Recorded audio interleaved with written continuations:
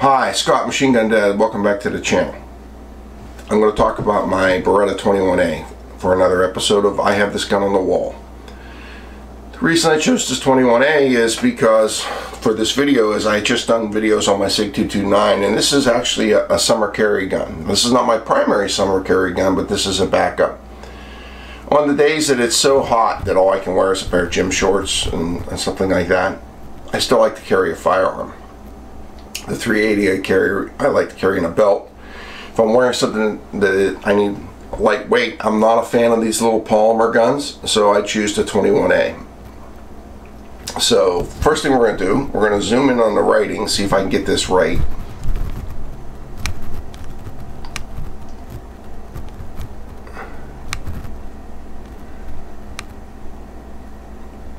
Alright, we got that.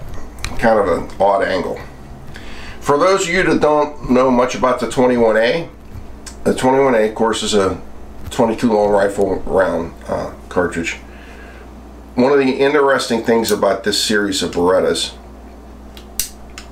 is has a pop-up barrel so you can see it's empty. Here's the magazine. You can see it's empty. So to load this, you put the rounds in the magazine and then the final thing is to put a round in the chamber and then click it down.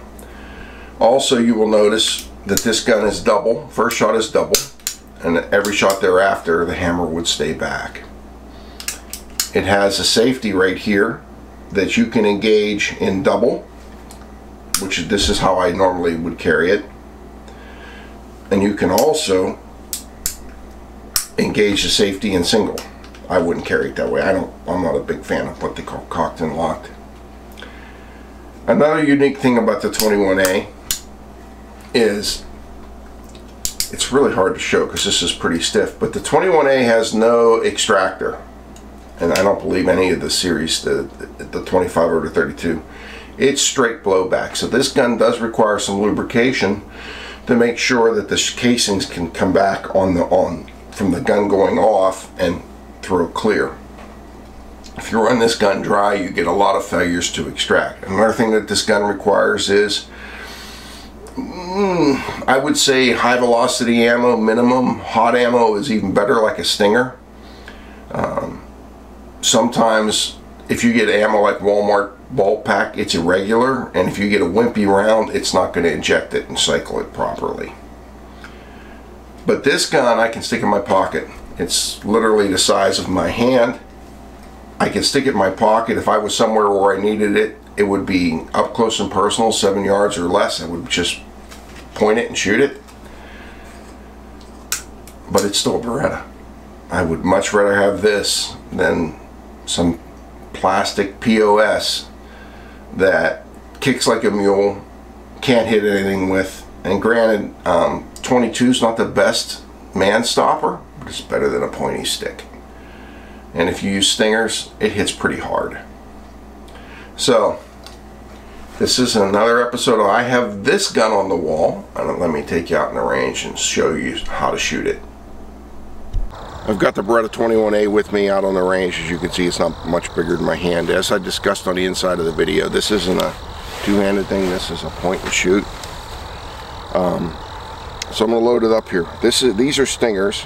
Um, I just brought one full mag and I realized I needed one to drop in the barrel. So I'll do that first. Put the safety on. Load the magazine. It clicked in. My inventory tags are in my way. There we go, that's better. Alright, I'm about seven, seven yards from a steel target. Let's see how I do one-handed. First one will be double, and then single the rest of the mag.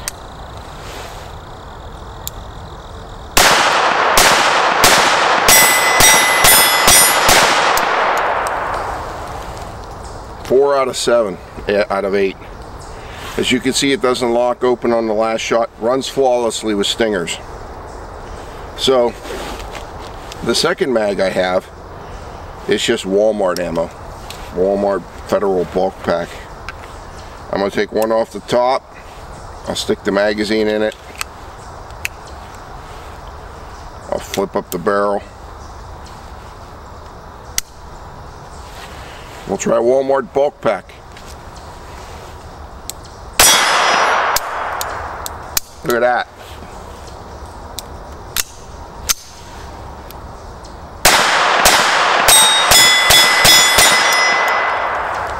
Well, I have one failure to feed. On the other hand, this gun is a little dry, but extracted, ejected. The funny thing is there's no extractor in this gun, so it's just straight blowback. My opinion on this gun is this. I carry this gun in the summer when it's so hot that I'm wearing a pair of like gym shorts or something like that with a string tie waistband where I can't afford to have a lot of weight.